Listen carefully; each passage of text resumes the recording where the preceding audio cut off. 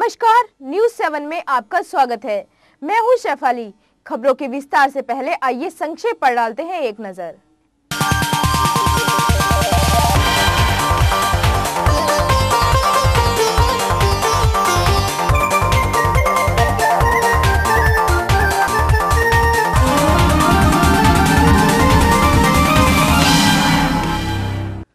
जोशीमठ में तिमुंडिया कोथिग नामक एक ऐसा मेला आयोजित किया जाता है, जिसमें प्रसाद के रूप में चावल और गुड़ के साथ बकरे का कच्चा मांस भी खाया जाता है।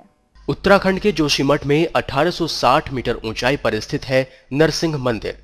नरसिंह मंदिर में हर साल लगता है तिमुंडिया कौथिग मेला, जो बद्रीनाथ धाम के कपाट खुलने से पहले आयोजित किया जाता है।